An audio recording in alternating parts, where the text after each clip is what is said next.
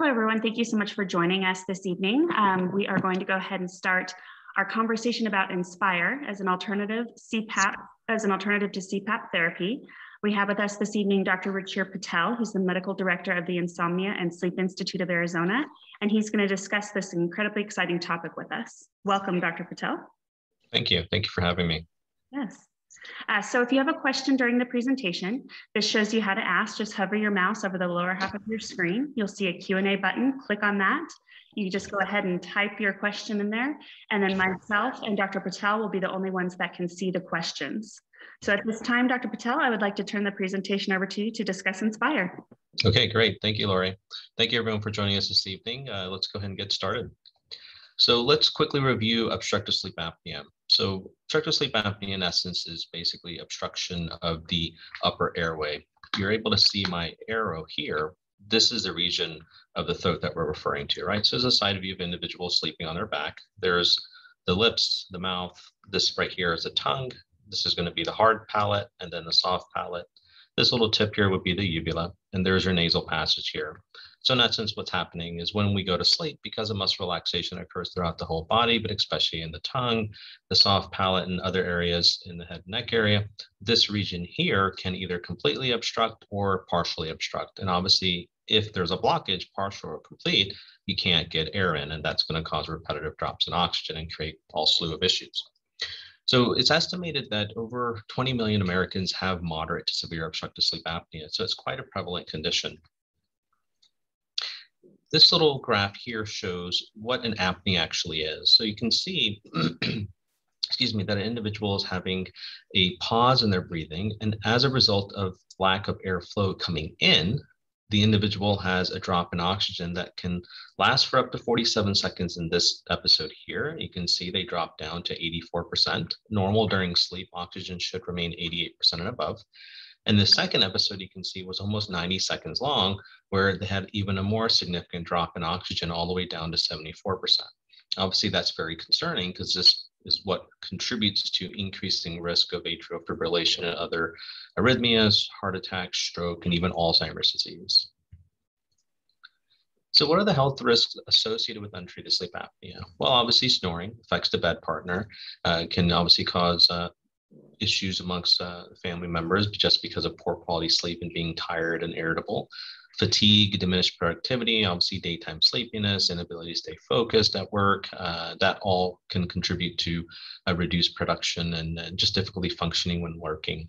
Of course, motor vehicle accidents. So drowsy driving is an extremely common cause of motor vehicle accidents these days, which is resulting in obviously significant uh, mortality. Obviously, uh, we've all seen uh, news reports of bus drivers and train conductors that are also untreated with sleep apnea and they're falling asleep and obviously it's quite dangerous. And as mentioned earlier, there's a lot of heart and brain health uh, consequences with not having sleep apnea successfully treated. So the gold standard therapy for sleep apnea since 1981 has been, has been CPAP therapy. So CPAP stands for continuous positive airway pressure. It in essence provides positive air pressure to as you're breathing with it, it helps to keep the back of the throat, which I showed earlier, it helps to keep it open. So it provides excellent results for treating sleep apnea and also symptomatic improvements when it's used regularly and comfortably. But CPAP can be challenging for many patients. That can cause them to have a hard time adapting to it. A lot of individuals may even have claustrophobia issues or some individuals just can't find a mask that fits well to the contours of their face and it makes it challenging for him or her to be able to use it successfully. So that unfortunately is a reality for us in sleep medicine is that not everyone is able to tolerate CPAP therapy successfully. Of course, the risks of untreated sleep apnea are quite severe, and thus that's a challenge for us in sleep medicine is how do we treat these individuals with moderate to severe sleep apnea that can't tolerate CPAP therapy, unfortunately. Alternate therapeutic options right now are including a mouth guard. So this image here on the upper right shows an example of a mouth appliance that dentists make. You can see that it's molded to upper teeth and the lower teeth. The lower portion in essence is locked forward, so it gets you to sleep with the lower jaw thrusted forward a bit. And in essence, it's trying to keep the tongue and the jaw from relaxing backwards and obstructing the throat or airway, but it's not as successful because you can only hold a person's jaw forward only in a few millimeter increments, and it may not be enough to still completely keep the throat open. And it's generally not extremely effective in individuals with moderate and severe obstructive sleep apnea. And of course, there is a potential risk of creating TMJ issues and even bite changes. Then, of course, upper airway surgery was performed by ENT for many years, uh, where it involved removing a part of the uh, uvula, even trimming down the base of the tongue. Even there's jaw manipulation surgeries that, in essence, would you know move the, the jaw forward to try to physically stretch open the airway. Unfortunately, these surgeries are a very painful. B they weren't very effective. And in 2010, we, the American Academy of Sleep Medicine recommended not to consider these as primary treatments for snoring and sleep apnea. I have had thousands of patients that have had these surgeries done, and unfortunately, majority of them still snore, and all of them still have sleep apnea. So now let's come to the topic of the discussion this evening, which is inspire therapy. So inspire, inspire therapy, also known as hypoglossal nerve stimulation, is a treatment for individuals with moderate to se severe obstructive sleep apnea who cannot tolerate CPAP. So the hypoglossal nerve stimulator is in essence a device that basically activates the hypoglossal nerve, which is the nerve that controls the tongue. And in essence, what it does is that with each inspiration, it actually activates the tongue to move forward. So if you look on this image here to the right, you can see this individual sleeping on their back. Right here is the actual implant. So that's the actual stimulator. This breathing sensor is placed in the fourth rib space and it's superficial where it detects breathing effort. So when the device detects that the individual is inhaling, it uh, basically activates the implant to then send the signal up this electrode here, which is then wrapped around the nerve that controls the tongue, which is the hypoglossal nerve, to move the tongue forward and open up the airway, right? And that's how it's helping to, in essence, prevent the obstructive sleep apnea events from happening. It's a very safe outpatient procedure that's performed by ear, nose, and throat surgeons a very fast and quick recovery time. Majority of my patients that have had the implant implanted, usually within the first end of the first week, they've uh, all reported that their pain was very minimal and they've recovered. There's very little restrictions after surgery as well. The implant typically is activated and managed by your sleep physician. So the ENT helps to, you know, implant it, and then we're the ones in sleep medicine that will actually turn the device on and then determine what settings are needed to treat you successfully. So as mentioned, it's a very safe outpatient procedure. It's done in an outpatient surgery center. Usually you go home the same day and typically it can take about two hours for the actual procedure. It's inserted through two small two inch or five centimeter incisions. So if you look here on this image here, there's one two inch incision right here in the right upper chest wall where they create a little pocket to insert the, the implant. And this is an image of the implant here. It's about a two inch implant and it's maybe at most about a, less than a centimeter in thickness. Then they actually tunnel this breathing sensor to the fourth rib space. So that's where, of course, that is going to be detecting your breathing effort. And then they tunnel this electrode here without making any incisions along this area. They tunnel it up to this area here along the right jawline here, where they make another two inch incision. And that's where they're able to locate and attach the electrode to the nerve that controls the tongue, which is the hypoglossal nerve. So there's about a two inch incision here and then one two inch incision here. Typically, pain control is generally by over-the-counter pain meds. One of the surgeons we work with here locally in Scottsdale, he typically prescribes Celebrex, and all my patients have uh, generally done quite well. Like I mentioned, most individuals have reported very minimal uh, pain issues apart from pain at the incision sites. Um, you can return to non-strenuous activity within a few days after surgery. Many patients will ask, well, does the battery run out? And it is a pacemaker uh, implant, so it has an average battery life of about 11 hours. It does last a bit longer than a cardiac pacemaker because this implant is only turned on when you're sleeping, whereas a cardiac pacemaker is on 24 hours a day. So as a result, the battery life does last a bit longer with the Inspire implant. Uh, MRI of the head, neck, and extremities can be safely performed. And the device also tracks adherence, which means that we're able to pull a report from the implant and it will show us how many nights a week you're using it, how long each night, what setting you're actually on as well.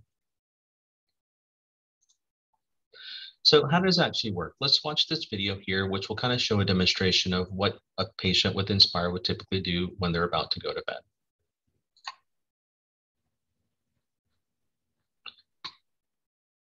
So we'll take the remote control there and they'll activate the implant. So when the individual is breathing, this sensor here detects inhalation and then it activates the tongue to move forward. You can see here how the tongue is being moved forward. And that's how it's helping to treat the obstructive sleep apnea. So in essence, trying to prevent it from actually happening.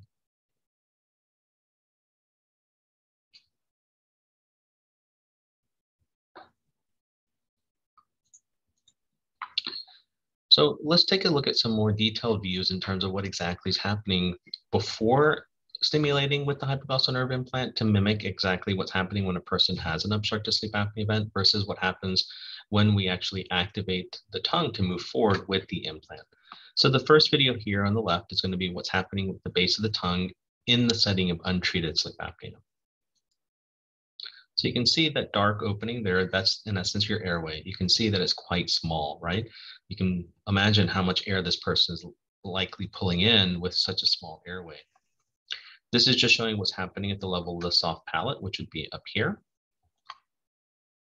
Again, you can barely see any airway. So, so again, you can imagine how little air they're getting in and how low their oxygen must be dropping while they're sleeping. Now, on the right side, this is the same patient, but now under the influence of the hypoglossal nerve stimulator or the Inspire implant, and we'll be able to see the differences in terms of when the implant activates the tongue to move forward, you'll be able to see how wide the airway opens up, both at the base of the tongue as well as the level of the soft palate. There, you can see how wide the airway is. So every time this space opens up, that's when the tongue is activated to move forward. We'll mm-hmm. look at the level of the soft palate. Again, the same thing. Every time you see everything open up, that's when the implant is activating the tongue and the soft palate to rise and open.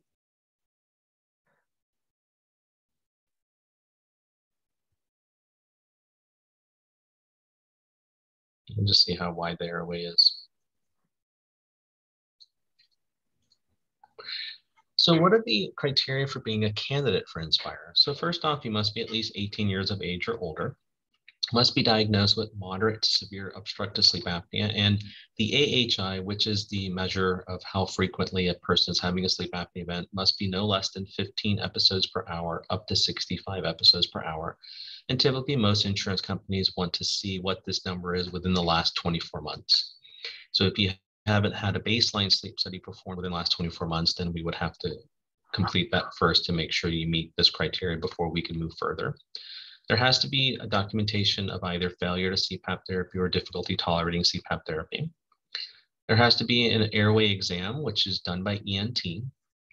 And then also, if you have central sleep apnea, less than 25% of the total number of events that a person is having must be central events. So majority of the sleep apnea has to be obstructed. And there's also a BMI restriction. So the body mass index must be less than 35 kilogram per meter squared. Blue Cross Blue Shield of Arizona has a tighter restriction of less than 32 kilograms per meter squared.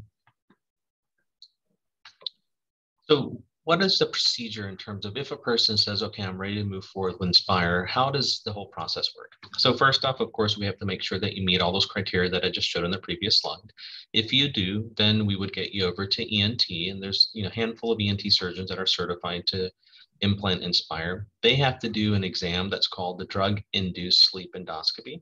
That's where they'll have you come into the outpatient surgery center and they'll put you, they'll give you propofol to in essence induce sleep. And with the camera, they'll take a look at the back of your throat to see how is your airway collapsing. Is it predominantly your tongue and soft palate that's obstructing the airway? That's a favorable situation, so then you're a candidate. But if the examination shows that your tongue, soft palate collapse, but then also the side walls of your throat also collapse, which is what we call concentric collapse, then unfortunately you're not a candidate because Inspire cannot help to open up the side walls of the throat.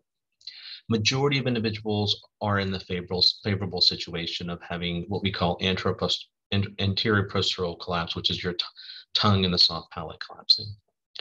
Once you're implanted, 30 days later, you would meet with a sleep physician.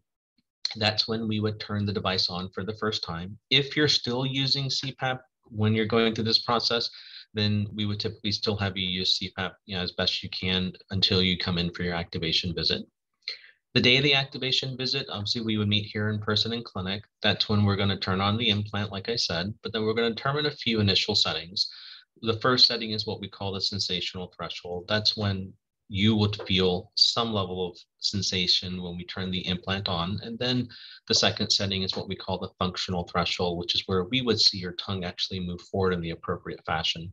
And then that kind of gives us a starting range of 10 settings that we would set your remote control in the implant to, and then educate you on how to self titrate, so to speak, the implant the way the process works with Inspire versus say with CPAP, with CPAP, we can bring you into the sleep lab, we can titrate you or determine what pressure is needed to treat your sleep apnea right then and there, set the device to the set pressure, and we know that, all right, as long as you're using it, tolerating it, your sleep apnea is controlled.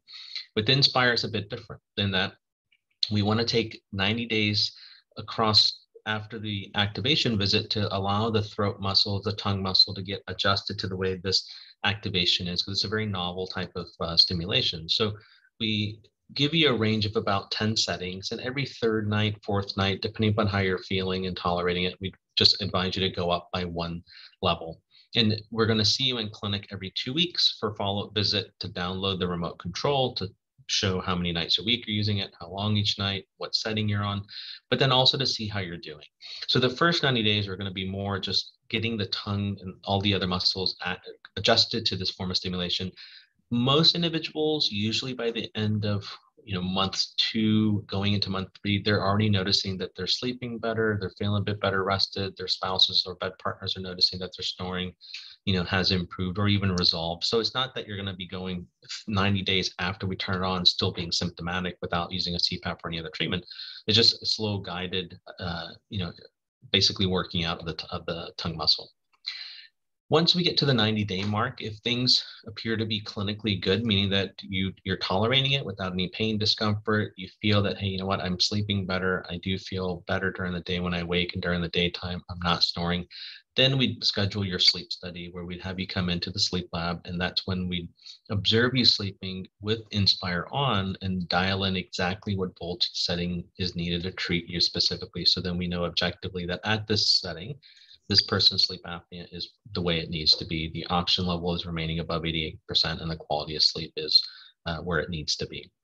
And then we'd see you about every six months after that. Typically, about a year after the first sleep study, we'd repeat your sleep study to confirm that Inspire is still properly treating the sleep apnea. Because one of the uh, limitations of Inspire right now is that it doesn't measure how frequently you're having sleep apnea events with the implant. Like a CPAP machine can record how many events you're having, the Inspire implant cannot record that. So we have to repeat the study about every year to confirm that the sleep apnea is well controlled.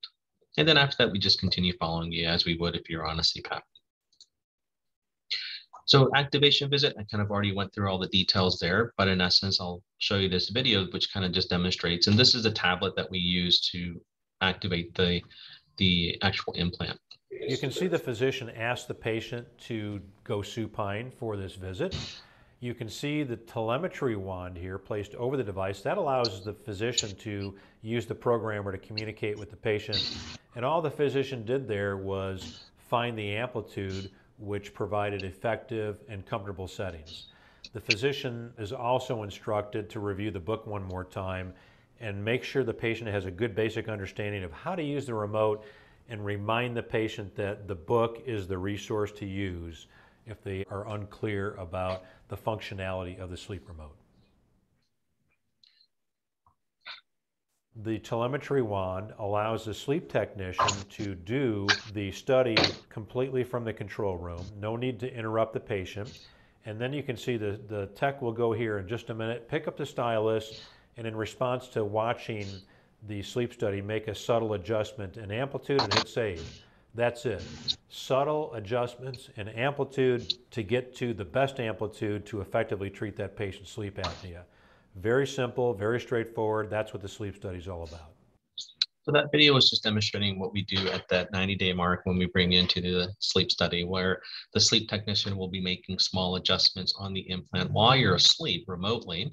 So we can dial in exactly what voltage is needed or amplitude is needed to treat the sleep apnea effectively. But like I mentioned, majority of individuals, by the time they get ready for the sleep study, most of those individuals are pretty close to where they need to be from what I've observed in my patient population uh, of where they need to be for that final setting. So in terms of um, the clinical research and the results, so there's a lot of clinical research that's been published on Inspire. The there was a 2014 study that was published in the New England Journal of Medicine. This was a pivotal trial that resulted in the FDA approving Inspire to be used to treat moderate to severe obstructive sleep apnea. But since then, there's been over 100 peer review publications. There's five-year follow-up data, meaning that the individuals that were in this clinical trial here that was published in the England Journal of Medicine, those individuals were followed for five years to see how they were doing. Uh, there's also an adhere registry where they're enrolling up to 5,000 patients uh, globally and following these individuals long term as well to track how well are these individuals being treated with regards to their sleep apnea, but how well are they feeling with regards to daytime tiredness. From an insurance coverage standpoint, most insurance providers are covering Inspire. I honestly have not come across a patient yet with an insurance that was not able to get approved for Inspire therapy, ranging from Medicare uh, to commercial insurance plans. So the STAR trial here, that's that pivotal trial that was produced, uh, that was published in the New England Journal of Medicine. So this is a five-year follow-up data. So what this means, the graph here on the left shows how severe was the sleep apnea in the 126 patients that were enrolled in this study. So the average severity level was in the moderate, just on the border of severe obstructive sleep apnea, where they had an average of 29 events per hour, meaning that the throat was collapsing about 29 times an hour.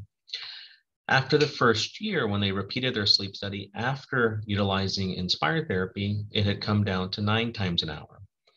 At three years, it had improved even further to six times an hour. And at five years, they were still around six times an hour. So dramatic improvement from without inspired therapy to with inspired therapy. And you can see that even five years after they were implanted, their sleep apnea was still very well controlled. Here on the right shows in terms of their daytime sleepiness. So the baseline level of daytime sleepiness, their Epworth sleepiness scale was 11, which is significant daytime sleepiness after being implanted and five years down the road, you can see that their average level of daytime sleepiness actually was normal, uh, meaning that their Epworth sleepiness score was six at one year, three year, and five year, meaning that because their sleep apnea was consistently well controlled with Inspire, they felt great during the day and their daytime sleepiness had continued to be resolved. So let me share some of my own patients, uh, just to give you an example of some of the cases that I've had and, and what their situation was that resulted in them having Inspire implanted and what their outcome was. So we'll review Miss Gigi first. She was diagnosed with severe obstructive sleep apnea with a severity of 37 events per hour. She had significant daytime sleepiness on her initial visit. She scored 20, which is quite high. Normal should be less than eight, which is that how likely you are to fall asleep in various different scenarios. She had very broken sleep and was sleeping all day long, as per her daughter, who's also a surgical RN. She had tried CPAP therapy, but really struggled with trying to find a mask that fit well for her, and she just struggled keeping it on during the night. So as a result of it, she couldn't treat it. And with the severity level, she had really limited options. She was evaluated for Inspire and she was implanted uh, on July 8th, 2020. We did her sleep study with Inspire about three months later, and you can see that at a voltage setting of 2.6 volts, her sleep apnea events went from 37 times an hour down to 9.2 times an hour. So significant improvement. But you can see that her level of daytime sleepiness dropped from 20 down to four. And she reported that she was sleeping through the night. She wasn't waking up to go to the bathroom. She wasn't having very fragmented sleep. And she was awake during the day. Previously, she was actually falling asleep while she was having her breakfast. She was falling asleep while she was talking to her daughter. She just couldn't keep herself awake during the day. And after Inspire, she was sleeping through the night, waking, feeling rested, and actually you know, rested throughout the entire day. And mind you, this individual actually is in her late 70s. Um, so she did very, very well, and she was very happy with the fact that she could stay awake during the day and sleep through the night. So another patient of mine, Mrs. PT, so she was diagnosed with moderate obstructive sleep apnea with a severity index of 25 per hour in 2016. She was on CPAP therapy when she came to see me back in 2016, and she was using it well. I mean, she was very compliant, adherent, but she struggled with trying to find a mask that fit perfect for her. She felt better with CPAP therapy compared to not using CPAP therapy, but there was still room for improvement in terms of the way she could feel during the daytime. And the problem was is we tried multiple different masks and just because of her facial structure, we couldn't find that perfect mask that didn't leak at all. Even though sleep apnea was very well controlled with the CPAP, the low level leak that she kept having still kept affecting quality of sleep. And that still kept her from feeling as well rested as I knew she potentially could. So we tried for about two years to find a mask that would leak for her, and I tried everything, um, and and she was willing to work with me on it, which was great. But ultimately, I had kind of run out of options from a mask standpoint and what combinations we could try. So we decided to pursue Inspire. So she was implanted last June. And ultimately, when we did her sleep study in November, because of the pandemic, there was a little bit of a longer uh, time stretch there. But with an amplitude of 2.7 volts, her sleep apnea severity went from 25 times an hour to 1.3. So really remarkable result. And she was sleeping through the night uninterrupted without having to use sleep aids. And she actually felt better rested than she did when she was using CPAP. And she actually felt better rested throughout the rest of the day as well. So she was very, very happy. And obviously I was happy that she was actually feeling better. And none of my patients to date so far, and I probably have closer to about maybe 50 to 60 patients in our practice with Inspire, none of my patients have regretted getting Inspire uh, so far, which is obviously very important for me because I wanted to make sure that I was recommending, you know, a, a very good treatment option for this patient population. So this slide here actually is our patient data as of uh, today. And you can see that the treatment outcomes in terms of the severity level for the individuals that are currently implanted, 35, and there's more individuals in there that haven't been loaded, so our number actually is higher than this. But you can see that the severity level is in the severe category at about 32 events per hour. And for the 22 patients that have already completed their sleep study, you can see that it came down to less than five times an hour. So our results actually have been really great, and we've been very happy.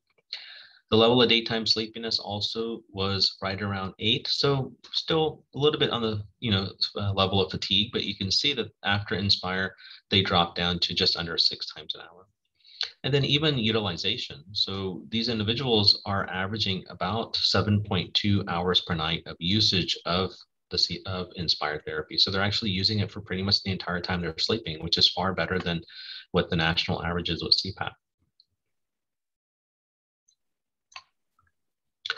So here's a gentleman uh, who actually I met a couple of years ago, and it was uh, hearing his story that actually really kind of pushed me over the edge, so to speak, to actually start considering this as a treatment option for, for my patient population. Uh, his name is Randy Livingston, and here's his phone number. He's happy to speak to uh, any of you that are actually interested in learning more. So his pre-inspire severity was 28 events per hour so just on the border of severe sleep apnea after he was implanted and had a study it dropped down to four times an hour. So really remarkable result.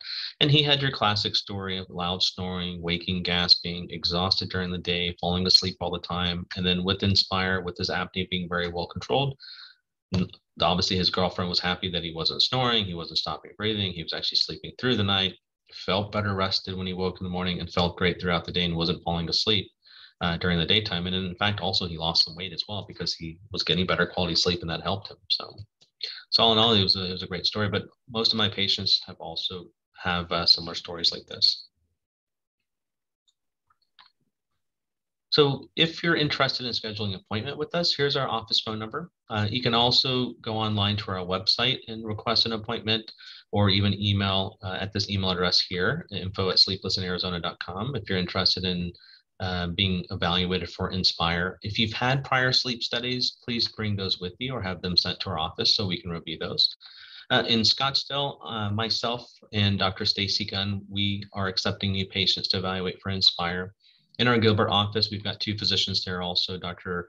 Uh, Anupama Ramalingam and Dr. Francisco Rawls. Both are also uh, utilizing Inspire therapy as well and evaluating new patients uh, in, the, in our Gilbert location. And this just shows where our offices are located.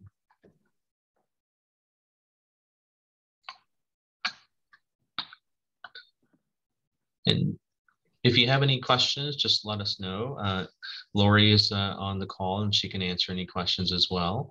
Uh, and if you would like to speak to a, a patient that has Inspire, also let us know too. Thank you. Great. Thank you so much, Dr. Patel. And if you all are interested in having us contact you to schedule an appointment, you can just raise your hand in the Q&A section and I'll have someone from Dr. Patel's office reach out to you. Um, so at this time, please feel free to type in questions. Dr. Patel, thank you so much for your time this evening. We really appreciate it and we look forward to seeing you all soon. Have a great Thank, night. Thank you.